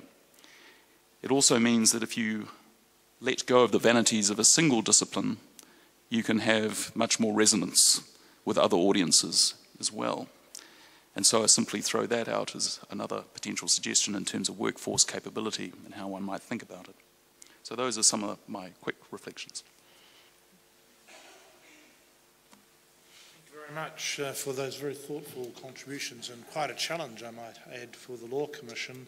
I certainly see it as um, we have a bit of a remit from all three of you to um, look carefully at the self-initiation part of our, our remit. Um, but our next question will come from Justice Joe, and then we'll have questions from the floor. My, my question is um, a really work-a-day one. Um, you can see that in uh, my comments, and I think comments from others as well, that um, there is a feeling among plenty of people at least that there ought to be a Māori Commissioner appointment. Um, as chair of the uh, Māori Liaison Committee, I was constantly struck by how pathetic we were as a as a substitute for genuine networking within Te Ao Māori. Um, and Mihi in particular, you were it in terms of um, anyone with any knowledge of Te Ao Māori in the Commission. I'm interested in views that the panel might have over um, how the Commission ought to network within Te Ao Māori. Mark, you've already mentioned the iwi Leaders Forum that the Human Rights Commission is very proactively engaged with, and they're not the only ones either. It's pretty hard to get on the iwi Leaders Forum um, agenda these days. So many bits of government want to talk to them. Um, and secondly, how do we encourage senior Māori um, lawyers, social policy people to work within the Commission uh, to assist the Commission in its work? How do we structure those engagements? How do we make it an attractive option? Um, what do you think? All of you.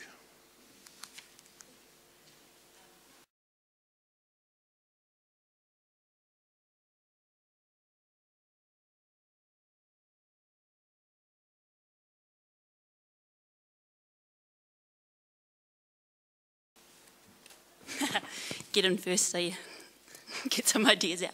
Um, so I think in terms of engaging uh, with Te Ao Māori, so I sit on the executive um, as a regional representative on Te Hunga Roia Māori o Aotearoa, um, and the presidents are actually sitting over, over there. My um, Aidan and Rachel Kilda.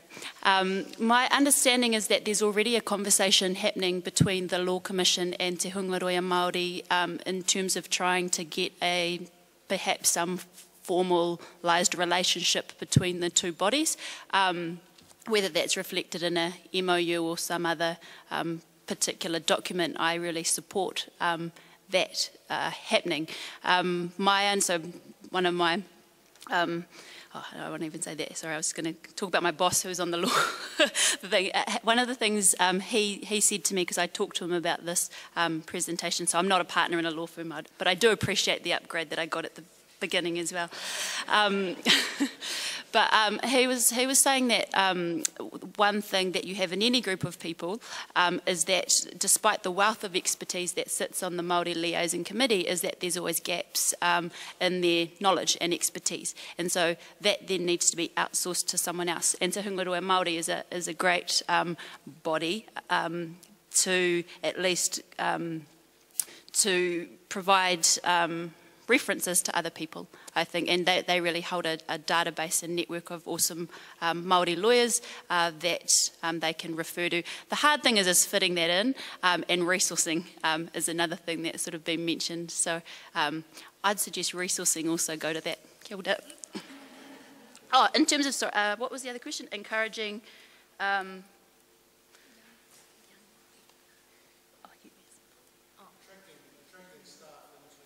the Commission in a way that increases the Commission's capacity with respect to Te Ao Māori? Staff at any level, really, but particularly at the intermediate to senior level. Yes, yeah, sorry. Um, so I was actually having a conversation um, in the break about this particular thing, and they said that um, one thing that was that that happens and that's really effective is shoulder tapping, asking people and approaching um, skilled people to come and work with you, um, and providing appropriate re remuneration.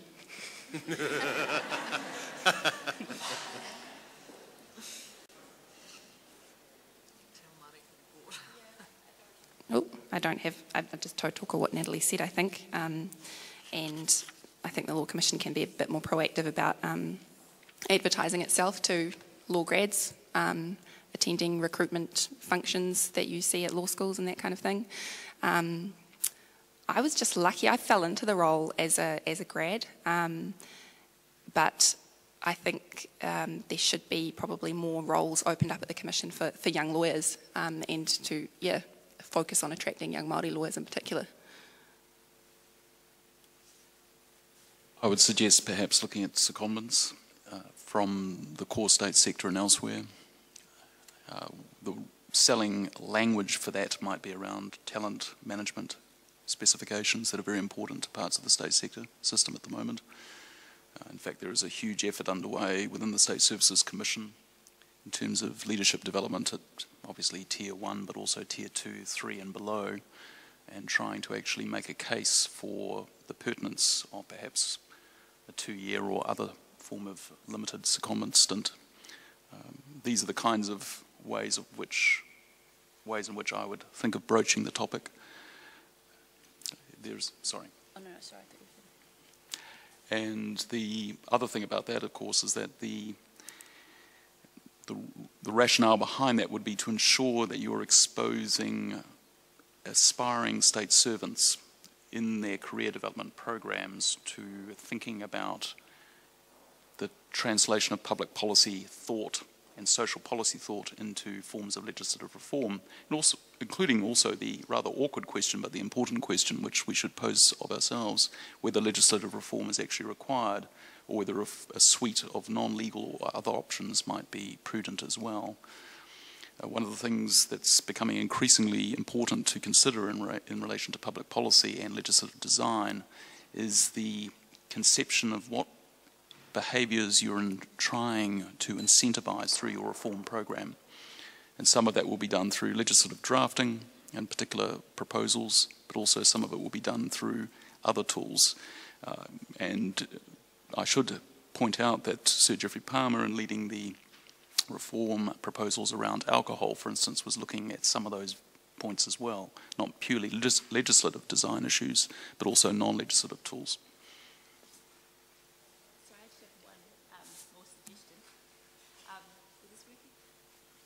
Uh, look, cool. Uh, I just have one um, other quick suggestion is actually making Māori roles um, available at the lower tier levels and labelling them that um, because I think um, young Māori lawyers and young Māori graduates just wouldn't even think of this as a potential option.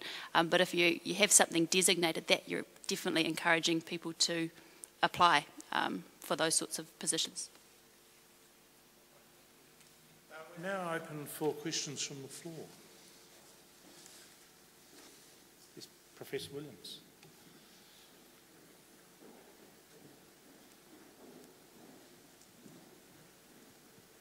Tēnā tātou, tēnā koutou katoa. Um, I, am wanting to wrestle with the challenge, the widow from, from Claire.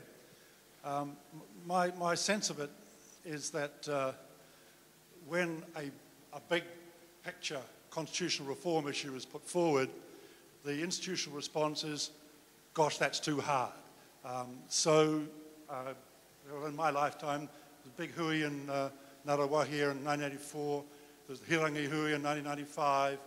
Um, Joe Williams helps to craft a Ko Aotearoa Tēnei uh, Waitangi Tribunal report which addresses some of those same issues. Um, when the Constitutional Arrangements Committee, inspired by Peter Dunne, and then the more recent Constitutional Advisory panel come along, they say, oh, there's a lot of views that way, and oh, there's a lot of views that way, let's do nothing um, and have a further conversation. But mind you, when the further conversation takes place, maybe the landscape has shifted slightly. So maybe we listen to Claire more attentively than we listened to Moana Jackson a few years ago. And in fact, I'm sure that is the case. Um, but one, one thought uh, in terms of the Law Commission that's put itself in the firing line by inviting these people to come along, well, of course you'll be told to do something. Um, and, um, uh, and just processes of consultation. If you look at the Matike Mai Aotearoa report, just find out how many meetings they had before they produced their report and, and where those meetings were. They were in schools, they were in prisons, they were all over the place and in all around the Motu. So um, uh, I, I, suspect that if you um, ask someone like Eddie Durie on, on the committee, as it was the case a few years ago, um, uh, you will get done what he did, which was Bishop Manu, they've asked me to do something down on the Law Commission. Can you help me? And so um, Sir Eddie, it wasn't Sir Eddie then, Eddie spoke to Bishop Manuhuia and uh, Monita Delamere, and they brought their, their wisdom back to the, to the uh, Law Commission. And that was a good and valuable process. But there's a much bigger process out there if you really want to take into account the wider concerns of Te Ao Māori. And I think Matike Mai Aotearoa uh, is an example which you might well think about uh, uh, as a way uh, to uh, in, in, involve a much wider network of Te Ao Māori. So it's not just lovely people like the one sitting on the table here and gorgeous Joe Williams, who's a very pleasant man, and he'll come along and he'll say some slightly nasty words to you, um, but he will also stay with you. You need people like him, but you need some others out there that are pushing you along, and are you listening to those ones? Sure.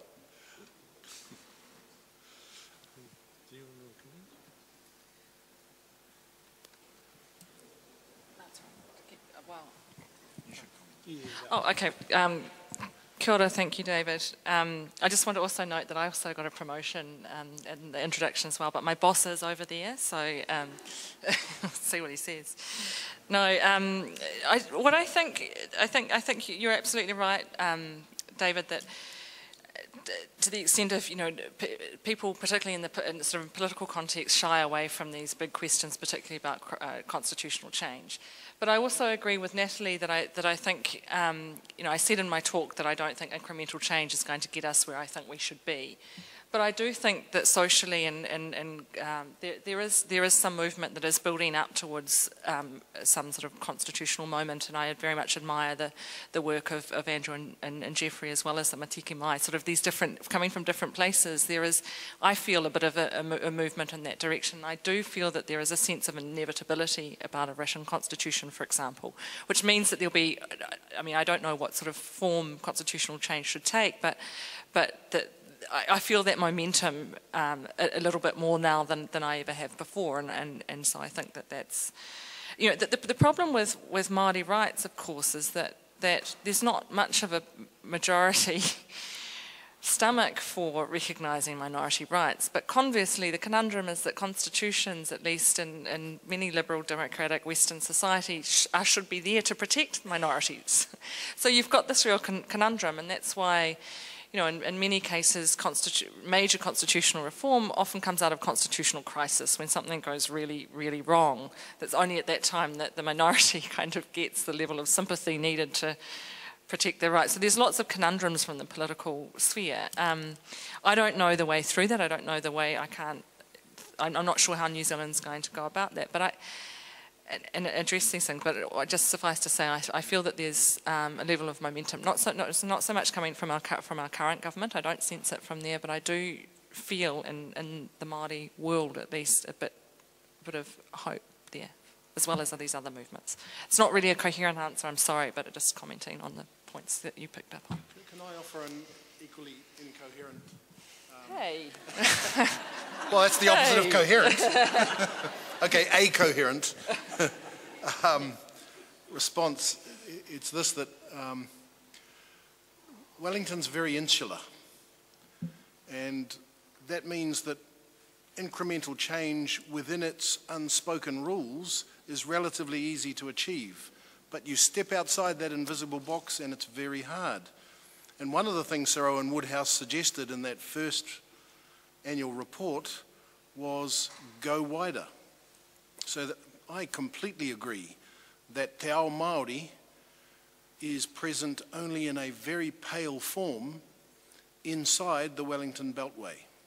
And that out there is a whole other cacophony of voices um, who have views, often very different views, about the things like our constitutional settings. And um, the Commission would do well to think about whether and how it ought to listen to those voices. Judge Becroft. Tēnā koutou katoa. My question is, what do we do if existing legislation that enshrines a Māori worldview isn't being implemented? From my own perspective, the Children, Young Persons and Their Families Act was enacted with enormous hope and reflected truly revolutionary principles in its time in 1989. But actually, and I say this to my shame, of the 26 provisions, eight in youth justice that specifically refer to whānau, hapū and iwi, none to my knowledge have played any meaningful part in decisions, especially in youth justice, since that time. And neither judges nor lawyers nor advocates, nor the community have in any meaningful way presented those provisions for argument and decision making. One being that any measure for dealing with youth offending should ensure whānau Hapū and iwi develop their own measures for responding to that offending. The assumption today seems to be that legislative change will deliver and nirvana will occur with legislative change. But the sad reality is, in some areas, e.g., youth justice and care and protection, significant legislative change just simply hasn't delivered. So, what do we do in that context when, for now 27 years, 26 provisions have effectively lain fallow, if not ignored?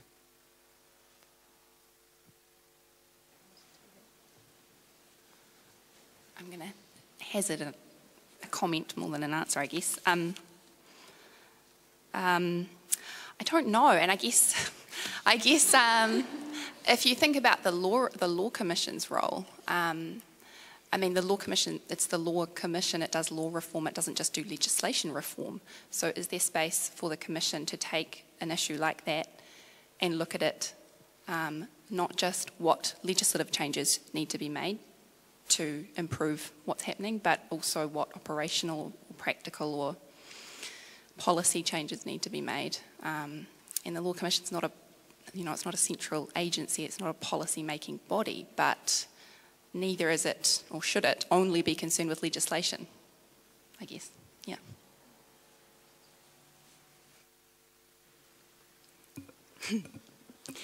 um, again, I mean, I don't, I don't have an answer to that either. But, I, but, and I, and I don't practice in family law or criminal law. But I, I understand that there's the same issue in criminal law, um, where there's provision for um, uh, reports, sentencing reports to be done, and that's just a provision that's not used at all um, to to sort of support, I guess, um, a cultural report, sorry, is what I'm talking about, and that's that's very very rarely used.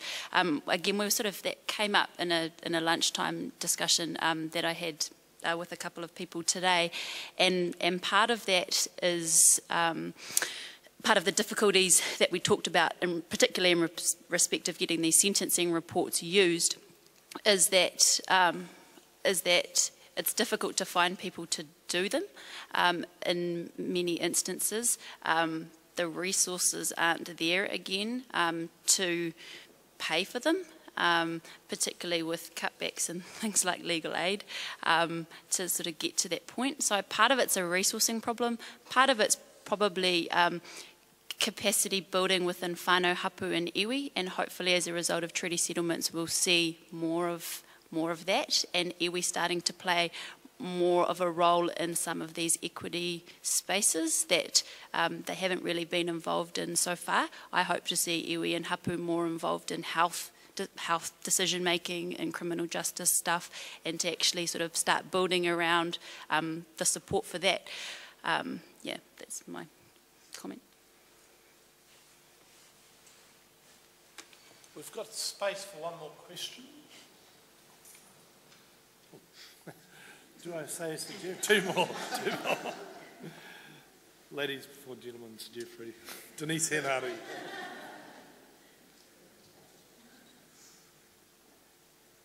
E ngā nā kai kōrero i tau nei, nā mihi ki a koutou, koutou rā, tēnā koutou katoa. Uh, well, I hesitated to put my hand up when my husband told me that I was about near the rest home um, uh, earlier today, but uh, I couldn't sit here, uh, and particularly as the uh, as a former uh, law commissioner, and particularly uh, a Maori law commissioner who was dragged down from Auckland to um, Rotorua by the late Manuhuia Bennett and the late Kate Walker, and it was shoulder tapping this is what's going to happen. This one's going here and you're going there. And uh, so it is with some. Uh, so there were three things I think that I would want to say. Uh, was said earlier, and I think we've heard a great deal around back to the future. And thank you, uh, Joe, for reminding us of that initial history around what sort of society is it that we want to be for the future. And if the first premise or the first test is how to improve the lives of New Zealanders, and the second one is for the Law Commission uh, do we have capacity uh, to undertake that work? And then the third one, of course, is the implementation. And I think the discussion today has addressed all three. In my time, I can say that the custom law project and the Waka Umanga project uh, would not, and the coroner's uh, project would not have occurred without self referral. And so it was that uh, the Commission, uh, through the commissioners at the time and talking with various of the communities, were able to have the first discussion around where is the shoe pinching. And as somebody said this morning, I think it was the Solicitor General, um, you know, we can hear the future coming. I think our young ones today, and Dr. Charters particularly, has told us that that future uh, is now at the end of our noses. And if it is the case, and Joe is right, that there has been discussion over the years that there should be a Māori Law Commission, and if it is the case that the jury is still out on that, then I think that we have to think about two or three things.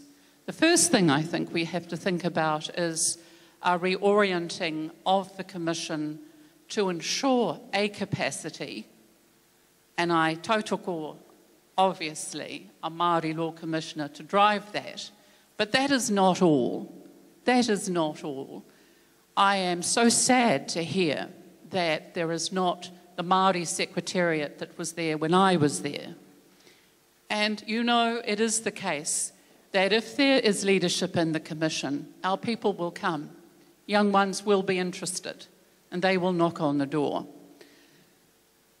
I, I think the second thing is, as far as I can see it, is an important part of the Law Commission is its independence. And if it is the case that the Law Commission has become closer and closer to government, so Geoffrey, you are right. Something had to be sacrificed. And if it is that independence uh, is in balance and is in issue, then that is something for us to reflect upon. When I look at that title, The Law Reform Community in the 21st Century, and having heard everybody today, I agree with Professor Hickford. There is a landscape, a big landscape of knowledge, of agencies, of reformers, and the wider communities outside of Wellington who are prepared to engage. And the trick will be to find how to facilitate and coordinate and develop those relationships that are there. When I was on the Law Commission, we found huge, uh, we, did, we, undertook huge collaboration with Waikato uh, University and the Matahauariki Institute there, and acknowledge some of those ones who are here today uh, who produced that wonderful report, Mātāpunenga, which has, um, which has been as helpful, I think, as, as the Custom Law Project, Joe. But you're right, that if those projects that are there are to move forward, and if this landscape that has been painted um, is to be traversed with care and with thought and with uh, expertise, so that uh, we can get things systematically reviewed, then that is going to require uh, huge thought, first of all, about, as I've said, reorienting the Law Commission, but it is also going to require huge thought as to how to join those relationships together uh, in order to get uh, uh, Te Ao Māori, as Joe says, more than just um, the tick box uh, but as a society within our society that all of us look forward to. I didn't mean to stand to actually give a little bit of a lecture, but as my husband knows, um, uh, I can't help myself at times. I really just really want to congratulate, first of all, the um, commissioners for uh, actually challenging us because I think Joe was right. If we all came here and patted ourselves on the back and said, well, what a great job we've done, uh, then uh, we would be in the rest home. I think it is good to be challenged. I think there's, it reminds us, Joe, um, how many of our young people, how many of our young people there are in droves now. When I was in the Law Commission in the late 90s, there were, there were few coming through, but there is so much expertise to call upon. Uh, so I'll just leave you with those three thoughts. Um, and if you want to make a comment on that, that's fine. But I don't have a question because I know there's no more time. My husband will, well, too bad, I have to tell him off. So, Geoffrey, um, would you like to make a, a comment, a last word perhaps?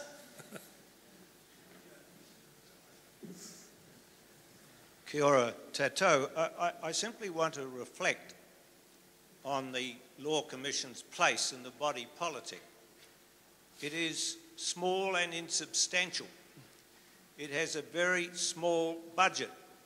In order to get resources to do the things you want, it has to compete with other priorities, and those priorities are set by ministers. I do think the Law Commission has significant advantages over the executive government for working out complicated law projects because it has the techniques of research available, it has consultation. I remember when we did the liquor reform, we used a bang the table interactive thing to find out what people really thought about drinking. They didn't like it. Uh, but the, the, the fact of the matter is that when you are consulting with government departments, there's a suspicion that the minister's hanging around in the background and it isn't really so independent. Uh, and, and I think that the way, having worked on both sides of this street, uh, I think it is better to formulate law proposals within the Law Commission than it is within the executive government, and you get a better work product. And I think that is fundamental. So I think what the Law Commission needs to do is to sell itself to the government on the basis that it can do better work and cause them very little trouble by getting rid of the political problems that, that these issues have by extensive consultation. Uh, and that is the key to a lot of things, and the Law Commission's method of consultation is superior to that of the executive government, in my view. So, what I am saying is that the Law Commission is a very important body, but it's very small, and it could do a lot more if it had more resources. Thank you.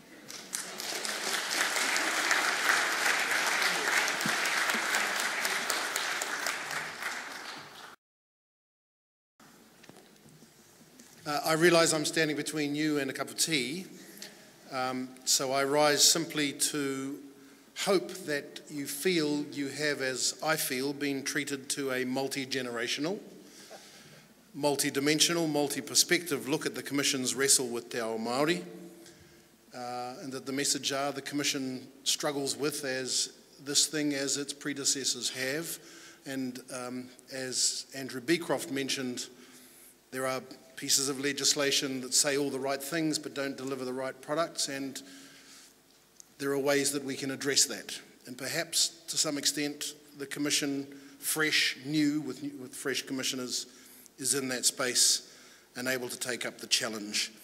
Think structurally, think culturally, kia mau tau ringa, kei mau tau ringa ki te ata taepa me mau ki te aka matua. I ask you to thank Wayne, Claire, Mihiata, Natalie and Mark. Tēnā tātou katoa.